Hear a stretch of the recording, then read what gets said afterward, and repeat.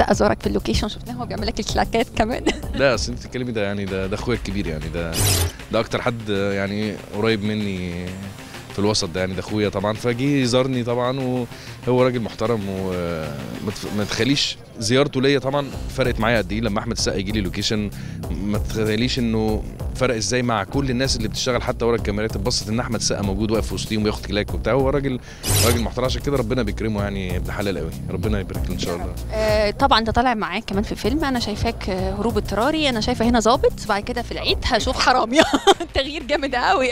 لا أنا عامل حاجة حلوة طبعا في في الفيلم إن شاء الله مع أحمد السقا طبعا. وأحمد خالد موسى مخرج طبعا عبقري يعني فظيع وعامل حاجة فظيعة جدا. وإنتاج السبكي راجل محترم جدا الشركة أول مرة أتعامل معاها بصراحة. بس بصراحة اتبسطت في الشغل مع السبكي جدا جدا والفيلم بصراحة هيطلع حاجة حلوة قوي قوي يعني. أمير أعتقد 2017 فيها قرارات مختلفة تماما. أنت عن اللي خدته قبل كده في أعمالك الفنية. آه طبعا. أكيد. 17 اللي إحنا فيها. مختلفة طبعا. آه مختلفة طبعا. يعني المسلسل حاجة مختلفة غير اللي أنا عملته قبل كده. والفيلم آه، بقالي كتير جدا ما عملت السينما وكنت مستني حاجة كويسة أدخل فيها.